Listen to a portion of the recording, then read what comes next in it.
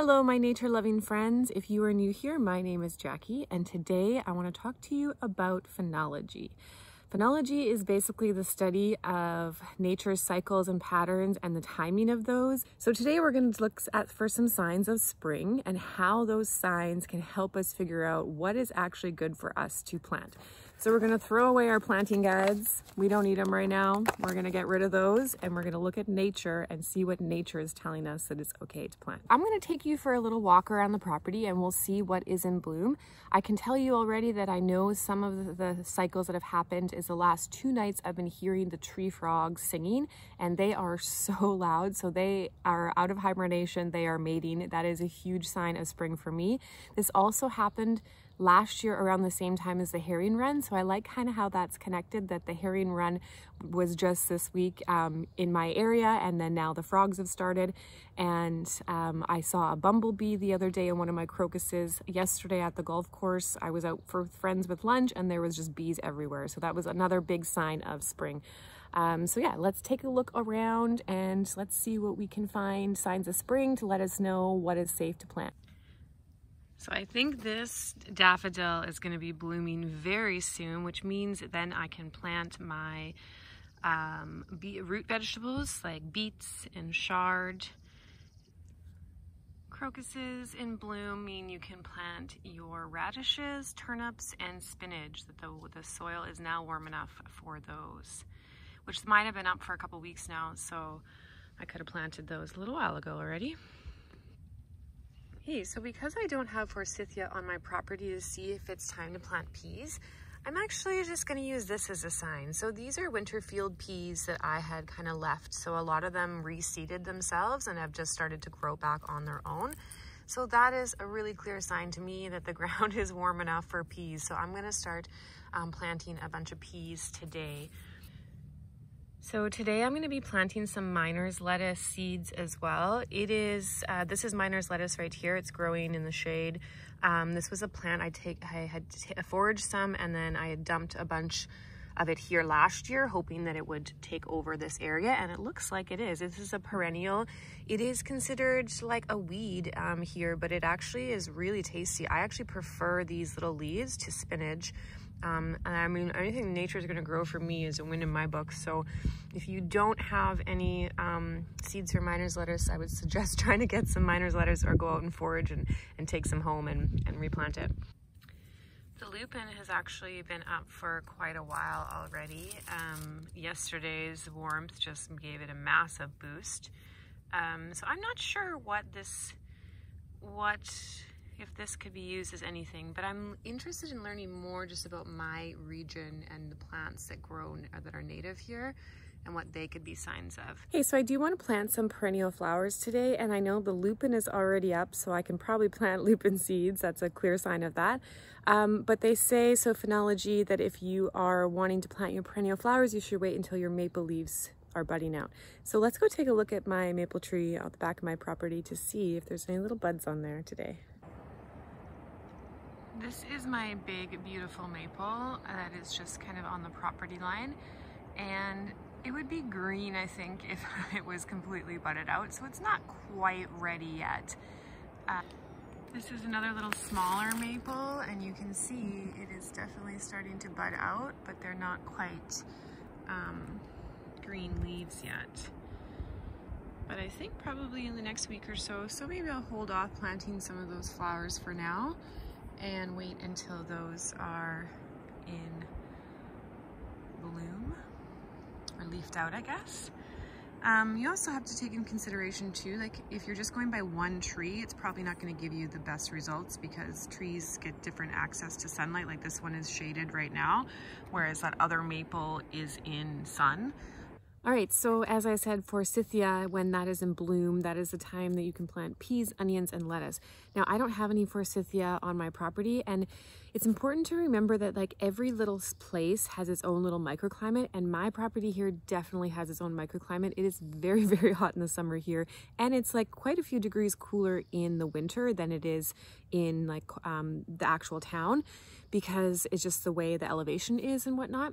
So I'm trying to make my own planting guide. So what I'm gonna do for my um, little sheet, my cheat sheet here that I made based on um, the Pacific Northwest planting guides for my region.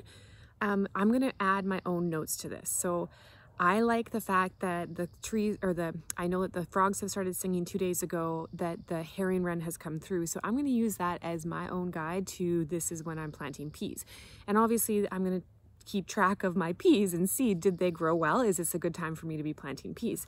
Um, I think that other indicator in the garden that my winterfield peas are already starting to come up is a good sign that the soil is ready for them because I'm even planting my, my peas in my raised garden bed so the soil is even warmer in there so I think that they'll be able to handle um, this little bit. But I'm going to add this to the back of my my cheat sheet here so that I know that when the frogs start to sing and when the herring run happens, you can plant your peas out. And because my crocuses have been up for a little while already, uh, I'm gonna plant some more radishes today. I'm gonna plant some spinach and um, arugula is not on that list, but I think it's kind of comparative to um, spinach. And I have this uh, perennial arugula from Cicada Seeds that I've been really excited to try. So I'm gonna plant that. I'm also going to plant some kale today. Um, I have some more perennial kale that I'll plant a few more of those, but I also just have other varieties of kale that I would like to plant just so I can have some more little baby greens. I still have a lot of kale in the garden already, but I feel like you can just never have too much kale. And oh, and then I'm going to plant those miners, miners lettuce, uh, a little bit more of that. So that's what I'm going to plant today based on what signs I've seen in the garden for what is ready to be planting. So um, let's get to it. Okay, so these are my um, plans, which I have a video on how I planned out some of these garden beds, which I will link above if you would like to see them.